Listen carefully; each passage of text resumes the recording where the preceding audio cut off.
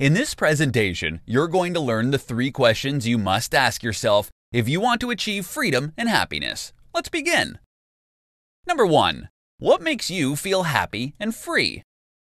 It should be common sense to at least have an idea of what exactly makes you happy and free. If you don't have any idea, then you're probably never going to know the meaning of true happiness and freedom. So, the first thing you have to do is define what makes you happy. It sounds like a simple task, but when you really think about it, you'd either come up with a very long list or nothing at all. When you finally come up with something, ask yourself if it's truly what you want. How long will you be happy once you achieve what you desire? Is it going to bring you long lasting happiness? Or will it only bring you temporary joy? Obviously, you want to attain real happiness.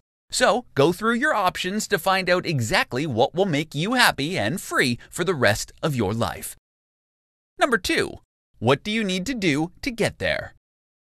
When you're looking at what you have now and what you want to be in the future, you'll see it's going to be a long journey. Your life as you know it now will probably start to change. You're chasing something now your happiness and your freedom. So ask yourself, what do you need to do to finally get there? And do you have what it takes to reach your dreams?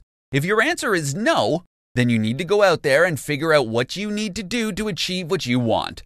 No one's going to hand your dreams to you. You have to work for it. Ask yourself if you're ready to put in the time and the effort to get to your ultimate destination. Number three, what's holding you back? At this point, you've figured out the thing that will make you happy, and you've charted your path towards achieving your dreams. But what's stopping you? Why aren't you moving forward?